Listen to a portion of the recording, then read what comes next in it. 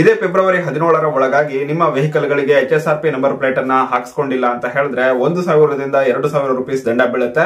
So ಹೀಗಾಗಿನೇ ಎಲ್ಲರೂ ಕೂಡ H S R P number plate ಅನ್ನ ಹಾಕ್ಸ್ಕೊಳ್ತಾ ಇದ್ದಾರೆ. ಸೊ ಬನ್ನಿ ಹಾಗಾದ್ರೆ ತಡ ಮಾಡ್ದೇನೆ. ಆನ್ಲೈನ್ ಅಲ್ಲೇನೆ ನೀವು ಹೇಗೆ ಈ ಒಂದು H S R P number plate ಅನ್ನ ಆರ್ಡರ್ ಮಾಡಬಹುದು ಅನ್ನೋದನ್ನ ತಿಳಿಸ್ಕೊಡ್ತಾ ಇದ್ದೀನಿ. ಅದಕ್ಕೂ ಮೊದಲು ಚಾನಲ್ ಅನ್ನ ಸಬ್ಸ್ಕ್ರೈಬ್ ಮಾಡ್ಕೊಂಡಿಲ್ಲ ಅಂತ ಹೇಳಿದ್ರೆ ಎಲ್ಲರೂ ಕೂಡ ಈಗಲೇನೆ ಚಾನಲ್ ಅನ್ನ ಸಬ್ಸ್ಕ್ರೈಬ್ ಮಾಡ್ಕೊಳ್ಳಿ.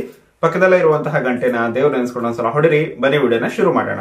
ಇದಕ್ಕೋಸ್ಕರ ಮೊದಲು ನಿಮ್ಮ ಮೊಬೈಲ್ ಅಲ್ಲಿ ಯಾವುದೋ ಒಂದು ಬ್ರೌಸರ್ ಅನ್ನ ಓಪನ್ ಮಾಡ್ಕೊಳ್ಳಿ. ನಾನಿಲ್ಲಿ ಕ್ರೋಮ್ ಬ್ರೌಸರ್ ಅನ್ನ ಓಪನ್ ಮಾಡ್ಕೊಂಡಿದ್ದೀನಿ. ನಂತರ ಇಲ್ಲಿ ನೀವು ಸರ್ಚ್ ಮಾಡಬೇಕಾಗಿರೋದು S I A M dot in ಅಂತ ಹೇಳಿ. So S A I M dot in so ಈ ರೀತಿಯಾಗಿ ನೀವು ಟೈಪ್ ಮಾಡಿ ಸರ್ಚ್ ಮಾಡಬೇಕಾಗಿದೆ. ಸರ್ಚ್ ಮಾಡಿದಾಗ ಮೊದಲನೇ ವೆಬ್ಸೈಟ್ ಬರುತ್ತೆ ನೋಡಿ, ಆ ಒಂದು ವೆಬ್ಸೈಟ್ ಮೇಲೆ ಕ್ಲಿಕ್ ಮಾಡ್ಕೊಳ್ಳಿ. ನಂತರ ನೀವು ಮಾಡಬೇಕಾಗಿರೋದು ಇಲ್ಲಿ ತ್ರೀ ಡಾಟ್ ಮೇಲೆ ಕ್ಲಿಕ್ ಮಾಡ್ಕೊಳ್ಳಿ. ನಂತರ ಇಲ್ಲಿ ಡೆಸ್ಕ್ಟಾಪ್ ಸೈಟ್ ಅಂತ ಬರುತ್ತೆ. ಅದ್ರ ಮೇಲೆ ಕ್ಲಿಕ್ ಮಾಡಿ. ಸೊ ಅವಾಗ ಈ ರೀತಿಯಾಗಿ ಪೇಜ್ ಓಪನ್ ಆಗುತ್ತೆ.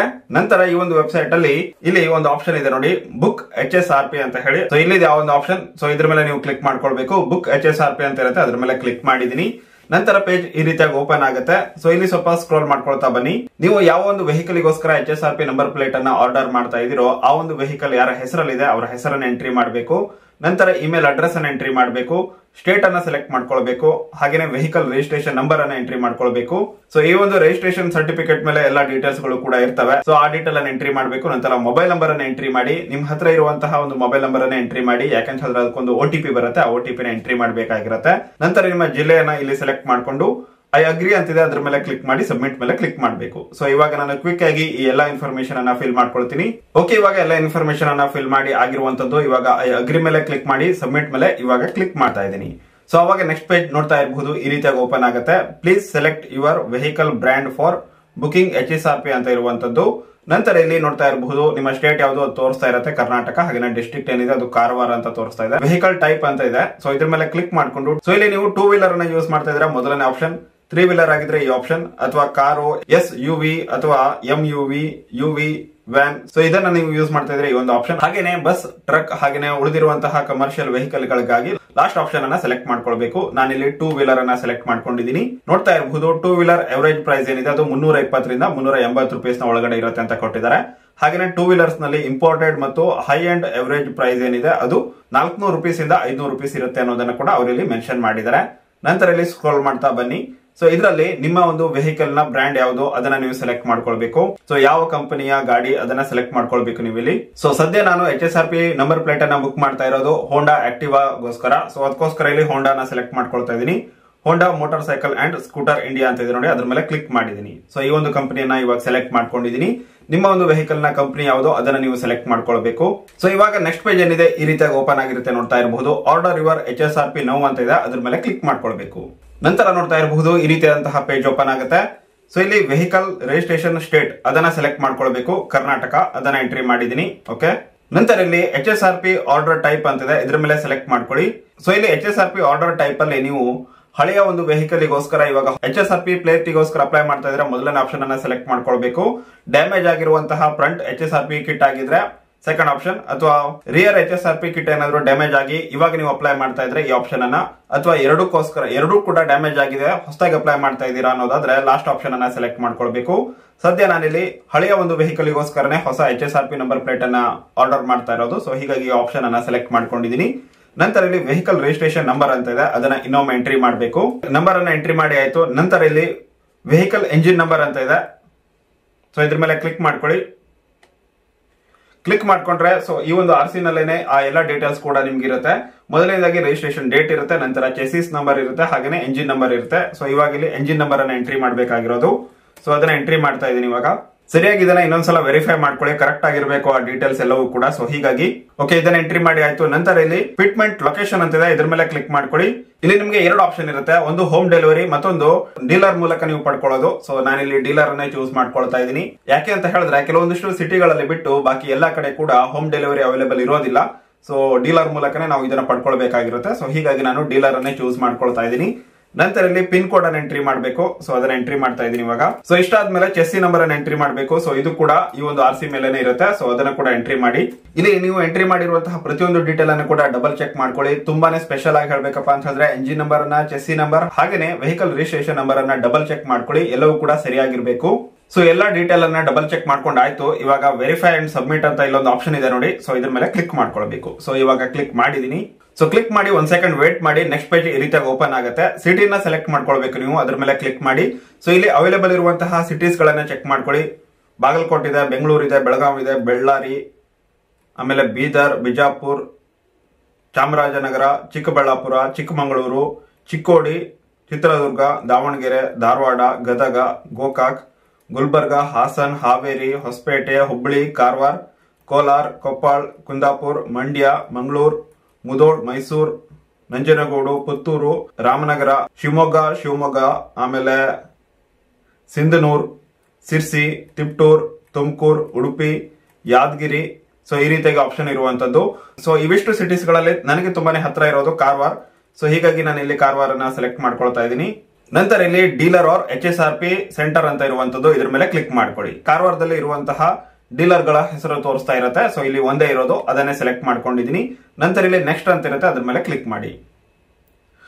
ಹಾಗಂತ ನೀವು ಕಾರವಾರಕ್ಕೆ ಹೋಗ್ಬೇಕಂತ ಇಲ್ಲ. H S R P number ಏನಿದೆ, ಅದು ಕಾರವಾರಕ್ಕೆ ಬಂದಿರುತ್ತೆ. ನಾನಿಲ್ಲಿ ಕಾರವಾರನ ಚೂಸ್ ಮಾಡಿದ್ರಿಂದ ನಂತರ ಈ ಒಂದು ಡೀಲರ್ಗೆ ನೀವು ಕಾಲ್ ಮಾಡಿ. ಸೊ ನಿಮ್ಮ ಊರಿನಲ್ಲೇ ಯಾವ್ದಾದ್ರು ಒಂದು ಶೋರೂಮ್ ಇದ್ರೆ ಅಲ್ಲಿಗೆ ನೀವು ಅದನ್ನ ಟ್ರಾನ್ಸ್ಫರ್ ಮಾಡಿಸ್ಕೊಳ್ಬಹುದು. ಅಲ್ಲಿಂದನೇ ನೀವು ಅದನ್ನ ಪಡ್ಕೊಳ್ಬಹುದು ಕೂಡ. ಸೊ ಇವಾಗ ನಾನು ಕಾರವಾರನ ಚೂಸ್ ಮಾಡ್ಕೊಂಡು ಆಗಿದೆ ನಂತರ ಇಲ್ಲಿ ಚೂಸ್ ಅಪಾಯಿಂಟ್ಮೆಂಟ್ ಡೇಟ್ ಅಂತಿದೆ ಇದ್ರ ಮೇಲೆ ಕ್ಲಿಕ್ ಮಾಡ್ಕೊಂಡ್ರೆ ಯಾವ್ದೆಲ್ಲ ಅವೈಲೇಬಲ್ ಇದೆ ಅದು ಇಲ್ಲಿ ತೋರಿಸ್ತಾ ಇರತ್ತೆ, ಅದನ್ನ ನೀವು ಸೆಲೆಕ್ಟ್ ಮಾಡ್ಕೊಳ್ಬೇಕು. ಸೊ ಈ ಒಂದು ಸೆಂಟ್ರಲ್ ನೋಡ್ತಾ ಇರಬಹುದು ಎಲ್ಲವೂ ಕೂಡ ಬುಕ್ ಆಗಿದೆ. ನಂತರ ಇಲ್ಲಿ ನೆಕ್ಸ್ಟ್ ಕೊಟ್ರೆ ಕೂಡ ಮಾರ್ಚ್ ಅಲ್ಲಿ ಮಾರ್ಚ್ ಇಪ್ಪತ್ತೊಂದಕ್ಕೆ ಮಾತ್ರ ಇರುವಂತದ್ದು. ತುಂಬಾನೇ ಲೇಟ್ ಆಯ್ತು. ಸೊ ಹೀಗಾಗಿ ನಾನೇನ್ ಮಾಡ್ತಾ ಇದ್ದೀನಿ, ಇಲ್ಲಿ ಸೆಂಟರ್ ಅನ್ನ ಚೇಂಜ್ ಮಾಡ್ತೀನಿ ಇವಾಗ. ಸಿಟಿನ ಇಲ್ಲಿ ಸಿರ್ಸಿ ಅಂತ ಮಾಡ್ತೀನಿ, ನೋಡೋಣ. ಓಕೆ ಸಿರ್ಸಿನ ಸೆಲೆಕ್ಟ್ ಮಾಡ್ಕೊಂಡಿದೀನಿ ನಂತರ ಇಲ್ಲಿ ಇವಾಗ ಚೆಕ್ ಮಾಡಿದ್ರೆ, ಇಲ್ಲೂ ಕೂಡ ಕೆಲವೊಂದಿಷ್ಟು ಆಪ್ಷನ್ಗಳು ತೋರಿಸ್ತಾ ಇದಾವೆ. ಒಂದಲ್ಲ ಎರಡಿದಾವೆ ಸೊ ಇದರಲ್ಲಿ ನಾನು ಮೊದಲನೇ ಒಂದು ಆಪ್ಷನ್ ಅನ್ನ ಸೆಲೆಕ್ಟ್ ಮಾಡ್ಕೊಂಡಿದ್ದೀನಿ ನಂತರ ಇಲ್ಲಿ ಇವಾಗ ಅಪಾಯಿಂಟ್ಮೆಂಟ್ ಡೇಟ್ ಅನ್ನ ಚೆಕ್ ಮಾಡಿದ್ರೆ ನೋಡ್ತಾ ಇರಬಹುದು. ಇವಾಗ ಸಿಗ್ತಾ ಇದೆ ಡೇಟ್ ಸೊ ಹೀಗಾಗಿ ನಾನು ಇಲ್ಲಿ ಹದಿನಾಲ್ಕನೇ ತಾರೀಕನ್ನ ಸೆಲೆಕ್ಟ್ ಮಾಡ್ಕೊಂಡಿದ್ದೀನಿ ಸೊ ಈ ರೀತಿಯಾಗಿ ಡೇಟ್ ಸಿಕ್ಕಿಲ್ಲ ಅಂತ ಹೇಳಿದ್ರೆ ಸೆಂಟರ್ ಅನ್ನ ಚೇಂಜ್ ಮಾಡ್ಕೊಳ್ಳಿ. ನಿಮ್ಮ ಹತ್ರ ಇರುವಂತಹ ಮತ್ತೊಂದು ಸೆಂಟರ್ ಅನ್ನ ನೀವು ಇಲ್ಲಿ ಚೂಸ್ ಮಾಡ್ಕೊಳ್ಬಹುದು. ಸೊ ಹದಿನೇಳರ ತನಕ ಲಾಸ್ಟ್ ಡೇಟ್ ಇದೆ. ಅದರಿಂದಾಗಿ ನಾನು ಹದಿನಾಲ್ಕನ ಚೂಸ್ ಮಾಡ್ಕೊಂಡಿದ್ದೀನಿ ಈ ಒಂದು ಡೀಲರ್ ಏನ್ ತೋರಿಸ್ತಾ ಇದೆ? ಇವರಿಗೂ ಕೂಡ ನಂತರ ನೀವು H S R P number plate ಬಂದ ನಂತರ ಕಾಲ್ ಮಾಡಿ, ನಮ್ಮ ಊರಿಗೆ ಅದನ್ನ ಟ್ರಾನ್ಸ್ಫರ್ ಮಾಡ್ಕೊಡಿ ಅಂತ ಹೇಳಿದ್ರೆ ನಿಮ್ಮ ಊರಿನಲ್ಲಿರುವಂತಹ ಆ ಒಂದು ಶೋರೂಮ್ಗೆ ಅವರು ಟ್ರಾನ್ಸ್ಫರ್ ಮಾಡ್ಕೊಡ್ತಾರೆ. ನಂತರ ನಿಮ್ಮ ಊರಿನಲ್ಲಿರುವಂತಹ ಶೋರೂಮ್ಗೆ ಹೋಗಿ ನೀವು ಆ ಒಂದು H S R P number plate ಅನ್ನು ಪಡ್ಕೊಳ್ಬಹುದು. ಸೊ ಇವಾಗ ನಾನು ಅದನ್ನ ಸೆಲೆಕ್ಟ್ ಮಾಡ್ಕೊಂಡು ಆಗಿದೆ ಸೊ ಡೇಟ್ ಅನ್ನು ಕೂಡ ಸೆಲೆಕ್ಟ್ ಮಾಡ್ಕೊಂಡಾಗಿದೆ. ಚೂಸ್ ಅಪಾಯಿಂಟ್ಮೆಂಟ್ ಡೇಟ್ ಅನ್ನು ಕೂಡ ಸೆಲೆಕ್ಟ್ ಮಾಡ್ಕೊಂಡಾಯ್ತು. ಎಕ್ಸಾಕ್ಟ್ ಆಗಿ ಲವರ್ಸ್ ಡೇ ದಿನಾನೇ ಸೆಲೆಕ್ಟ್ ಆಗ್ಬಿಟ್ಟಿದೆ. ಇಟ್ಸ್ ಓಕೆ ಇನ್ನು ನೆಕ್ಸ್ಟ್ ನೋಡೋಣ. ಚೂಸ್ ಅಪಾಯಿಂಟ್ಮೆಂಟ್ ಸ್ಲಾಟ್ ಅಂತ ಅದ್ರ ಮೇಲೆ ಕ್ಲಿಕ್ ಮಾಡ್ಕೊಂಡಿದ್ದೀನಿ. ಸೊ ಟೈಮಿಂಗ್ ಅನ್ನ ನೀವು ಇಲ್ಲಿ ಕೊಡಬೇಕಾಗಿದೆ. ಹತ್ತುವರೆಯಿಂದ ಬೆಳಿಗ್ಗೆ ಹನ್ನೊಂದುವರೆ ತನಕ ಯಾವುದೇ ರೀತಿಯಂತಹ ಸ್ಲಾಟ್ ಇಲ್ಲ. ಹನ್ನೊಂದುವರೆಯಿಂದ ಹನ್ನೆರಡುವರೆ ಕೂಡ ಸ್ಲಾಟ್ ಆಲ್ರೆಡಿ ಬುಕ್ ಆಗಿರುವಂತದ್ದು ಅವೈಲೇಬಲ್ ಇಲ್ಲ. ಬಟ್ ಮಧ್ಯಾಹ್ನ ಎರಡೂವರೆಯಿಂದ ಮೂರುವರೆ ಎರಡು ಸ್ಲಾಟ್ ಗಳಿದಾವೆ ಹಾಗೇನೆ ಮೂರುವರೆಯಿಂದ ನಾಲ್ಕೂವರೆ ಕೂಡ ಐದು ಸ್ಲಾಟ್ ಗಳಿದಾವೆ ಇನ್ನು ಸಂಜೆ ನಾಲ್ಕೂವರೆಯಿಂದ ಐದುವರೆ ಒಂಬತ್ತು ಸ್ಲಾಟ್ ಇದೆ. ನಾನು ಸಂಜೆನ ಸೆಲೆಕ್ಟ್ ಮಾಡ್ಕೊಳ್ತೀನಿ. ನಾಲ್ಕೂವರೆಯಿಂದ ಐದುವರೆನ ಸೆಲೆಕ್ಟ್ ಮಾಡ್ಕೊಂಡಿದ್ದೀನಿ. ಸೊ ಇಷ್ಟನ್ನ ನೀವು ಸೆಲೆಕ್ಟ್ ಮಾಡ್ಕೊಳ್ಬೇಕು. ನಿಮ್ಗೆ ಯಾವ್ದು ಕಂಫರ್ಟೇಬಲ್ ಇರುತ್ತೋ ಮತ್ತೆ ಯಾವ್ದೆಲ್ಲ ಅವೈಲೇಬಲ್ ಇರುತ್ತೋ ಅದನ್ನ ನೀವು ಚೂಸ್ ಮಾಡ್ಕೊಳ್ಳಿ. ನಂತರ ಇಲ್ಲಿ ನೆಕ್ಸ್ಟ್ ಅಂತ ಬರುತ್ತೆ. ಅದ್ರ ಮೇಲೆ ಕ್ಲಿಕ್ ಮಾಡಬೇಕು. ಸೊ ಅವಾಗ ನೆಕ್ಸ್ಟ್ ಪೇಜ್ ಏನಿದೆ? ಈ ರೀತಿಯಾಗಿ ಓಪನ್ ಆಗುತ್ತೆ ನೋಡ್ತಾ ಇರಬಹುದು. ರಿಜಿಸ್ಟ್ರೇಷನ್ ಡೇಟ್ ತೋರಿಸ್ತಾ ಇದೆ. ಕರೆಕ್ಟ್ ಆಗಿದೆಯೋ ಇಲ್ಲೋ ಅಂತ ನೋಡ್ಕೊಳ್ಳಿ. ರಿಜಿಸ್ಟ್ರೇಷನ್ ಮಾಡ್ಕೊಂಡಿರುವಂತಹ ಡೇಟ್ ನಂತರ ಇಲ್ಲಿ ವೆಹಿಕಲ್ ಟೈಪ್ ಅಂತ ಬರುತ್ತೆ. ಇದ್ರ ಮೇಲೆ ಕ್ಲಿಕ್ ಮಾಡ್ಕೊಂಡು ನಿಮ್ಮದು ಮೋಟರ್ ಸೈಕಲ್ ಅಂತ ಹೇಳಿದ್ರೆ ಬೈಕ್ ಅಥವಾ ಸ್ಕೂಟಿನ ಅಂತ ಕೇಳ್ತಾ ಇದೆ. ಇಲ್ಲಿ ಸ್ಕೂಟರ್ ಆಗಿರೋದ್ರಿಂದ ಸ್ಕೂಟರ್ ಅನ್ನ ಸೆಲೆಕ್ಟ್ ಮಾಡ್ಕೊಂಡಿದೀನಿ ವೆಹಿಕಲ್ ಕ್ಲಾಸ್ ಹಾಗೇನೆ ಫ್ಯೂಲ್ ಟೈಪ್ ಇದೆಲ್ಲವೂ ಕೂಡ ಆಟೋಮೆಟಿಕ್ ಆಗಿನೇ ಬಂದ್ಬಿಡುತ್ತೆ. ಸ್ವಲ್ಪ ಸ್ಕ್ರೋಲ್ ಮಾಡ್ಕೊಳ್ತಾ ಬನ್ನಿ. ಇಂಜಿನ್ ಟೈಪ್ ಏನಿದೆ ಅದು ಕೂಡ ಆಟೋಮೆಟಿಕ್ ಆಗಿನೇ ಬಂದಿರುತ್ತೆ. ನಂತರ ರಿಜಿಸ್ಟ್ರೇಷನ್ ವೆಹಿಕಲ್ ಓನರ್ ನೇಮ್ ಅಂತ ಇರುವಂತದ್ದು. ಸೊ ಈ ಒಂದು ಗಾಡಿ ಯಾರ ಹೆಸರಲ್ಲಿ ಇದೆಯೋ ಅವರ ಹೆಸರನ್ನ ಎಂಟ್ರಿ ಮಾಡಿ. ಸೊ ಇವಾಗ ನಾನು ಇಲ್ಲಿ ಓನರ್ ನೇಮ್ ಅನ್ನ ಎಂಟ್ರಿ ಮಾಡಿ ಆಗಿರುವಂತದ್ದು ನಂತರ ಇಲ್ಲಿ ಬಿಲ್ಲಿಂಗ್ ಸ್ಟೇಟ್ ಅಂತ ಇರುವಂತದ್ದು ಇದ್ರ ಮೇಲೆ ಕ್ಲಿಕ್ ಮಾಡ್ಕೊಳ್ಳಿ. ಸೊ ಇದು ಕೂಡ ಕರ್ನಾಟಕದಲ್ಲೇನೆ ಬಿಲ್ಲಿಂಗ್ ಆಗಿರೋದು. ಸೊ ಅದನ್ನ ಸೆಲೆಕ್ಟ್ ಮಾಡ್ಕೊಂಡಿದ್ದೀನಿ. ನಂತರ ನೆಕ್ಸ್ಟ್ ಅಂತ ಇರುತ್ತೆ, ಅದ್ರ ಮೇಲೆ ಕ್ಲಿಕ್ ಮಾಡ್ಕೊಳ್ಳಿ. ಸೊ ಕ್ಲಿಕ್ ಮಾಡಿ ಆಗಿದೆ. ನೆಕ್ಸ್ಟ್ ಪೇಜ್ ನೋಡ್ತಾ ಇರಬಹುದು, ಈ ರೀತಿಯಾಗಿ ಓಪನ್ ಆಗುತ್ತೆ. ಬಿಲ್ಲಿಂಗ್ ಅಡ್ರೆಸ್ ಅಂತ ಇದೆ. ಅಂತ ಹೇಳಿದ್ರೆ ನಿಮ್ಮ ಮನೆ ಅಡ್ರೆಸ್ ಅನ್ನ ಇಲ್ಲಿ ಎಂಟ್ರಿ ಮಾಡಿ. ಸೊ ಇವಾಗ ಅದನ್ನ ಎಂಟ್ರಿ ಮಾಡ್ತಾ ಇದ್ದೀನಿ. ಸೊ ಇಲ್ಲಿ ನನ್ನ ಮನೆ ಅಡ್ರೆಸ್ ಅನ್ನ ಇವಾಗ ನಾನು ಎಂಟ್ರಿ ಮಾಡಿ ಆಗಿರುವಂತದ್ದು ನಂತರ ಇಲ್ಲಿ ನೆಕ್ಸ್ಟ್ ಅಂತ ಇರುತ್ತೆ. ಅದ್ರ ಮೇಲೆ ಕ್ಲಿಕ್ ಮಾಡ್ಕೊಳ್ಬೇಕು.